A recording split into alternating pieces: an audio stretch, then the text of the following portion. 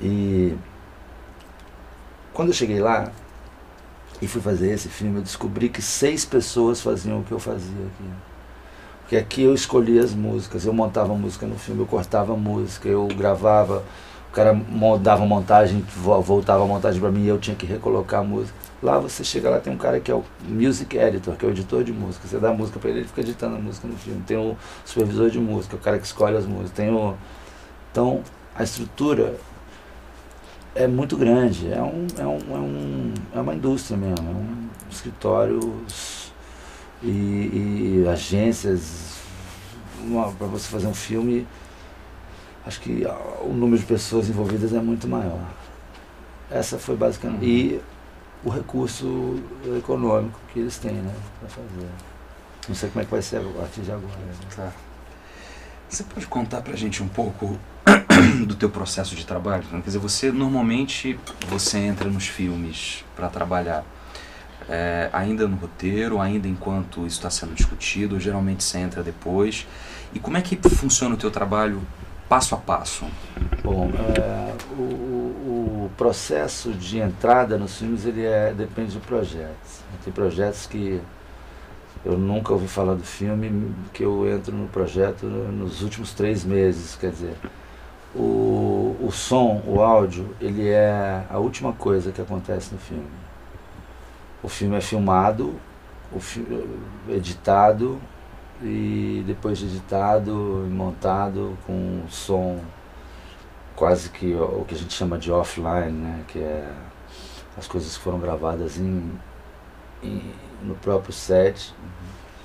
E depois tem uma pós-produção, ele é produzido, o cara refaz o som, às vezes dubla a voz, põe o som do carro, o som da porta, etc e tal.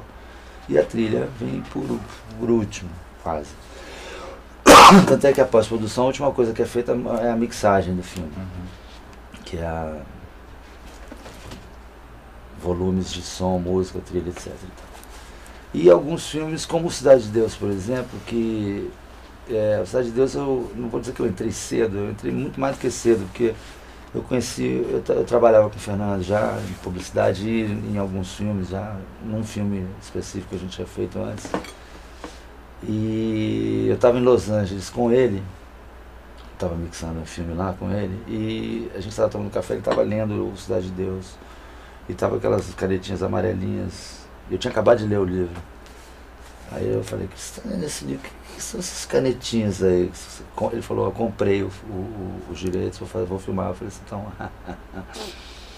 eu falei, eu faço tudo o que você quiser fazer a trilha desse filme. Eu, faço, eu preciso, eu li o livro, fiquei louco.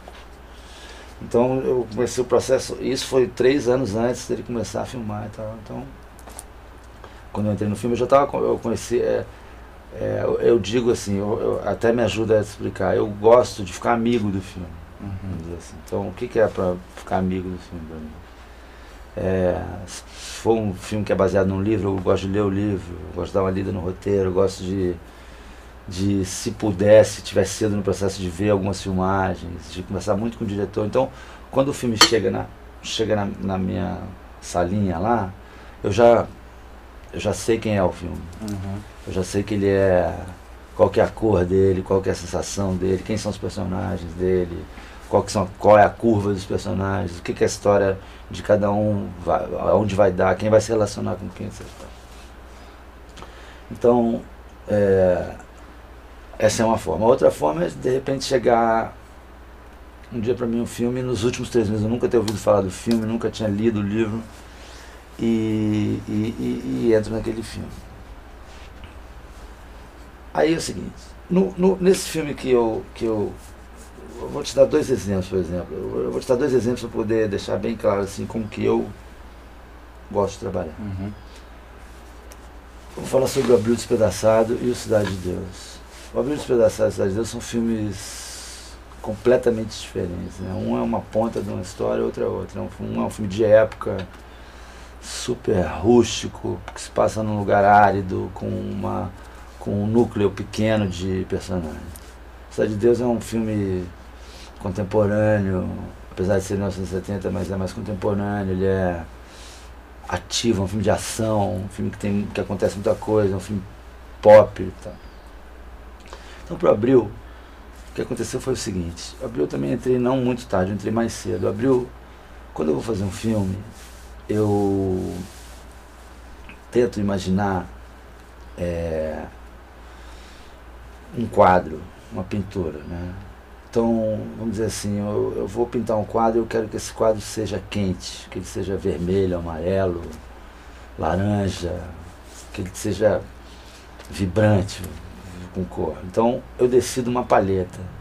Eu decido que a minha palheta vai ter tinta vermelha, tinta amarela, tinta laranja. E eu vou pintar esse quadro assim.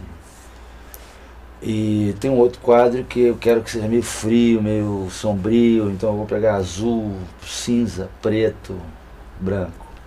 Então eu decido um pouco qual é a cor desse, desse filme. Vamos dizer assim, por exemplo, o Abril. O Abril conversando com o Valtinho, na troca com o Valtinho, vendo a história, na troca com o próprio produtor. Foi o primeiro filme que um produtor influenciou a trilha.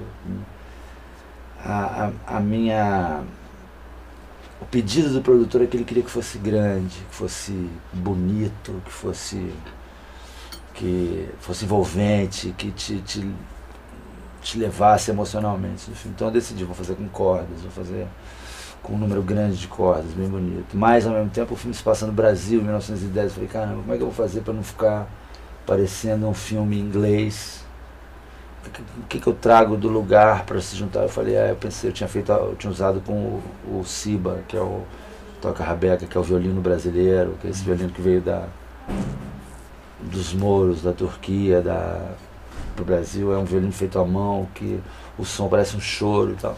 Então vou misturar, vou fazer essa com contraponto, vou pegar uma orquestra super sofisticada, afinada, bonita e vou pegar essa esse violino que é um choro, que é um cara sozinho vou misturar. Ao mesmo tempo eu vou usar aqui, ah, vou usar esses cantos que essas mulheres cantam para as mortes, chamam excelência, essas vozes dessas senhorzinhas. Vou misturar isso com a Rebeca. Então eu decidi uma palheta. Essa é a palheta do filme que eu vou usar para abril. A cor dele é cordas, com esse choro, com essas velhinhas, que é um filme difícil, filme sobre morte, né? Então está decidida a paleta. Depois de decidida a paleta, eu começo a fazer temas, temas melódicos que são marcantes, assim, vamos dizer.